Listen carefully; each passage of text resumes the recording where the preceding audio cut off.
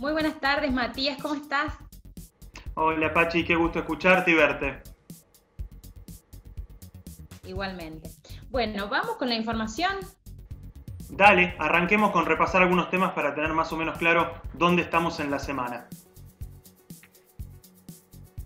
Bueno, uno de los temas del año ha sido el ciclo lectivo, si, digamos, cómo se daba y qué iba a pasar con el próximo año, ¿no? ¿Hay novedades con eso, Matías?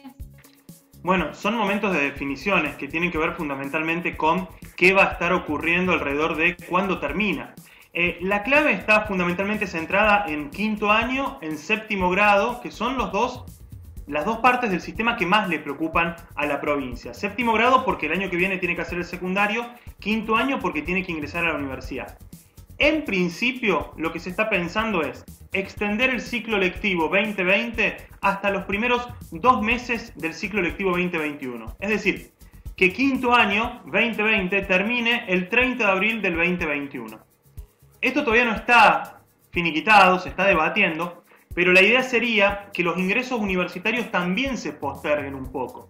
Es decir, que los chicos puedan terminar su quinto año en los primeros dos meses del ciclo lectivo del año que viene, marzo y abril, y que las universidades habiliten que las inscripciones también sean un poquitito más tarde, para permitirles a los chicos terminar justamente el nivel del secundario. Con la primaria ocurre algo similar, quizás con una gran ventaja que es que el sistema educativo primario y secundario todo pertenece al Estado provincial. Entonces, el Estado provincial puede regular alguna situación en particular. Pero la intención sería lo mismo. Aquellos contenidos que queden pendientes de completar durante el 2020, terminarlos en los primeros dos meses, marzo y abril del ciclo lectivo 2021, y allí recién empezar a ingresar o a la universidad o a primer año, dependiendo del año en el que esté cada uno de estos chicos. Ahora, está claro que estamos hablando de una pandemia que todo esto se va modificando minuto a minuto. Una consulta, ¿esto es a nivel provincial? Porque en ese caso eh, no habría problema, digamos, con, eh, bueno, como vos decís, nivel primario y secundario, pero en el caso de que haya eh, jóvenes que quieran irse a otro lado a estudiar en la universidad, sería un problema, digo, si es una medida netamente a nivel provincial, ¿no? No, esto es una medida que toma el Consejo Superior de Educación, entonces se aplica en todas las provincias argentinas. Con lo cual, quinto año en La Rioja y tengo que dejar de estudiar a Córdoba, podría hacerlo porque el sistema entero estaría modificado. Ahora, es cierto que cada, cada provincia va a tener una particularidad. ¿Por qué? Porque dependiendo de cómo esté la pandemia en los próximos meses, algunas partes del sistema van a poder tener clases semipresenciales y adelantar algunas partes del contenido. Pero va a haber otras que directamente se van a reencontrar o cuando aparezca la vacuna o cuando el sistema educativo considere posible volver a tener clases presenciales. Por eso, insisto, certezas ninguna. Intención, tratar de que el ciclo lectivo 2020 tenga continuidad en los primeros dos meses del 2021, marzo y abril. Bueno, nos iba a venir a revolucionar la pandemia. todo, todo, eh, todo es un todo está dado vuelta, Matías, incluso la economía. Y este, bueno, yo siempre a usted lo, cargo, esto de, ay, ¿cuándo va a traer buenas noticias? Evidentemente, esta noticia no es buena, pero si la hacemos, la hacemos bien. ¿Cuándo será el peor momento económico de la pandemia, Matías? Claro, porque mientras nosotros estamos saliendo al aire, en un par de horas se va a estar conociendo el dato de la pobreza del primer semestre del año. Y eso va a marcar un número muy negativo a nivel país, Em, y va a marcar un poco el impacto. Pensá que nosotros desde mediados de marzo y todo el mes de abril tuvimos fase 1 en todo el país, con todo cerrado, con fábricas que estuvieron trabajando al 4 o al 5% de su capacidad, o sea, una situación muy crítica. Eso va a aparecer en esta medición de la pobreza del primer semestre que va a informar el INDEC ahora dentro de un ratito. Lo que sí hay que tener claro es que la gran duda es, ¿ese es el techo o el piso o ese es el peor momento o no de la crisis económica? ¿Por qué?